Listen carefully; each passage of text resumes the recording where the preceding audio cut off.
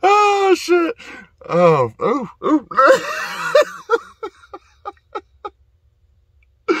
oh, I'm pulling shit out of my ear. I mean, oh wow. All right, so another little spectacular attempt at an intro. Oh shit, that was awesome.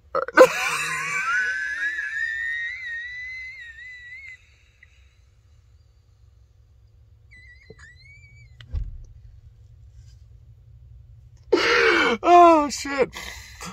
Oh, oh, good lord. Oh my god, that was. All right, gotta got those breathing techniques. I was like, ah, oh yes, y'all. Welcome, guys. Welcome, welcome, welcome. Um, to another Halloween episode of Before I Forget. I am your your can't keep his shit together host, Francisco for this fine evening. And um, today, today, what are we going to talk about? Well, I wanted to start a little conversation with you guys in the spirit of of a Halloween, Halloweeny kind of times of year, right? What are y'all's like? If you look back in time over the years, what are y'all's favorite like three favorite uh, or like top favorite whatever um costumes for Halloween. You know, um, what did you guys like look back and like makes you guys smile, say, "Hey, that was a kick-ass costume," or "I remember this." You know, I'm about to share with you guys mine, and that is the point of this this week's little video. Uh, I want to share with you guys my top three uh, favorite uh, costumes over my lifetime that I've sort of done, the ones that sort of stand out to me for their various reasons, and um, and yeah, y'all, it's like what are y'all's, guys? Comment below, subscribe my channel, follow me on Instagram, Shaggy Adventure. I want to know, guys. Let's, let's keep this conversation going, all right? But before we get to that, before we get to that, ooh, my sinuses are still like adjusting after I laugh. Um, it is that time, y'all. It is a strain of the day. What's in your bowl? I'm gonna tell you guys what's in mine, or what's it been in mine. Uh, some lemon kush. So before I go on about this, allbud.com is where I got all this information from. And a little bit of trivia for you about this lemon kush. There are actually a couple varieties of this strain. It's one of my favorites. Um, I like to say it's a really good keep your shit together under under stressful times kind of strain. Um, doesn't hit you too hard, but just nice enough to sort of take the edge off life where you can just like, you know, continue on the situations at hand. Um, now, that being said, y'all, let's let's talk about a little bit more. Let's dive a little deeper into this into this strain, shall we? Lemon Kush. Lemon Kush is a, um, in this case, I'm going to use the combination of Afghani Kush and Lemon G. It's a 50-50 hybrid. The flavor is going to be more citrus, lemon, spicy, and sweet, while the aroma is going to be more earthy, herbal, Kush, lemon, and sweet. The high, creative, energizing, euphoric, happy, uplifting, and relaxing. Um, it does help with a couple medicinal um, uses as well. It helps treat bipolar disorder, chronic pain, uh, depression, headaches, insomnia, migraines, PTSD, and stress. The negatives tends to be the usual culprits: dry, uh, dry mouth, dry eyes, uh, dizziness, headaches, and paranoia. Now, Let's go on to Afghani Kush, parent number one, shall we? Afghani Kush is actually one of the most well-known landrace strains in the world today. It comes from the Kush Mountains in Afghanistan. The flavor is um, known to be more herbal, piney, uh, spicy, and sweet, while the aroma is earthy, floral, pungent, and sweet. The high itself, it offers a really good body high, uh, mixed with a little bit of euphoria, happiness, and sleepiness. The medicinal benefits. This too also helps out a lot, uh, a few good things. It helps treat ADD, ADHD, chronic pain, depression, insomnia, loss of appetite, migraines, PMS, and stress. Again, the negatives, usual culprits, dry mouth, dry eyes, dizziness, and headaches. Now, let's go on to Lemon G, parent number two.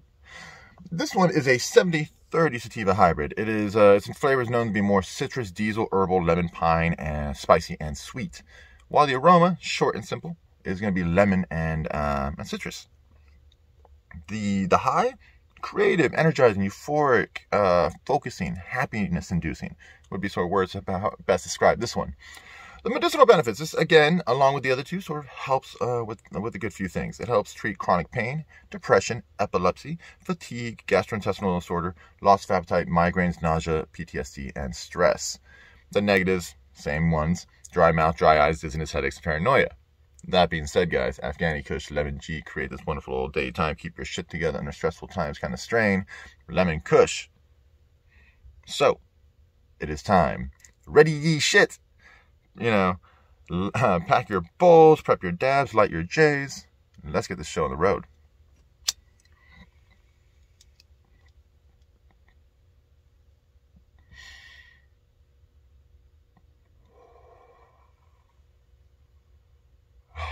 Such a good hit.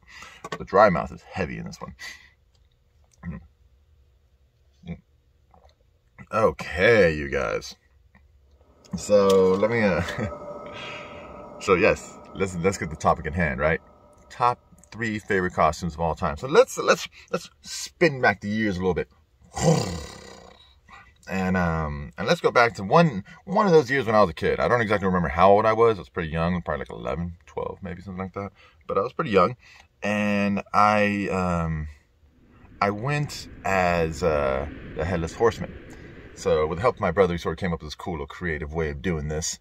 Um I want to say maybe I was a little older, maybe like 13, 14, but I don't know. You probably know more than me on that one. Anywho, um, and we got a trench coat. It was like a trench coat, rain jacket, whatever you want to call it. And we got a my mom's little embroidery, this circular embroidery wooden thing that she uses to, to embroider with to create the little frame for my face, right? Because actually my face would come out between the buttons, and and my head itself was like completely covered. I think we either we either used a, a beanie or something, and something else sort of like prop the the jacket on top of my head so my hair wouldn't be seen. But yeah, we put a, I mean like it was pretty creative little outfit, and um, we put that together, and that was actually one of my one of my one of my uh, favorite ones as a kid. It was just um, because it was mildly terrifying at the same time, just cool. One more little sip of water. All right, so now costume number two. Costume number two, I learned a couple little lessons from uh, in life, but before that, I want to take a little hit here because this was actually this was some funny little lessons I learned. What lesson would that be, right? Mind the fine print. What do I mean by that? Well, I'm gonna share with you that. I'm gonna share with you that little story. So, what do I mean by minding the fine print, right? So, when I was like 21 or 22, like something like 20 or 22, something around there, I decided to go as a lit match. And um, it was funny because, you know, if I if I smoked weed back then, as a, if I smoked weed back then, as much as I do now, it would be a little bit more of a punnier name. But yeah, I went as a lit match. So what did that entail? You know, I um, I had a, I just got went all beige, like all beige. Um, and then back in the day, I look back at this probably not one of my best decisions in life, but only two or twice. There's only been two times in my life I've ever dyed my hair, and it was both the same year. And I'll tell you why. I decided that year to actually decide uh, to go and do um, the frosted tips. Yes, I did the frosted tips. I thought it was, it was like really cool to do, but then I look back at that, I'm like, man, that's just tragic. uh, but anywho, one valuable lesson learned there. Second one, you know, I was like, oh well, you know, I had the perfect hair now, the dye and all that stuff, or whatever bleach or whatever the, whatever the hell they did in my hair, and um, to create that little flame look that I wanted to go with, right? So I confidently walked into the store, went to the hair dye section. Mind you, I've never redyed my hair. It's um, you know, I got those tips done, but never dyed them on my own. So I'm like, okay, I was told that, uh, you know, hair dye is temporary. And so I'm like looking at these boxes, you know, like, oh, okay. I found this perfect. Like, I think like, like a fire engine red, um, orange kind of combination. Anyways, confidently went up to the cashier, paid for it, went back to wherever I was at, put that in my hair. It came out the way I wanted it to. Um, and, uh, it came out the way I wanted it to, just like that flame kind of look and it was cool. The party was really cool. Um, don't remember much about it, but it was a fun time. Now, the best part was the, the, the, the, the true lesson in life that I learned from all this was, you know, the next morning and the morning after that and like the week after that, come to realize that that dye was not exactly as temporary as I thought. And, uh, and yeah, I had flame like looking hair, or like three, four different kind of colors. Um, for my uh, on top of my head. I sprouted a, fl- a flame, and um, so to get around that, I decided instead of shaving my head because I've never shaved my head before, uh, I was like instead of doing that, I'm just gonna dye my hair fire engine red, like fire engine red. And yeah, I got a picture about that lying around there somewhere. But yeah, I dyed my hair fire engine red, and that was it. I mean, that was uh, let it grow out. I actually didn't mind it to be quite honest, looking back at that part.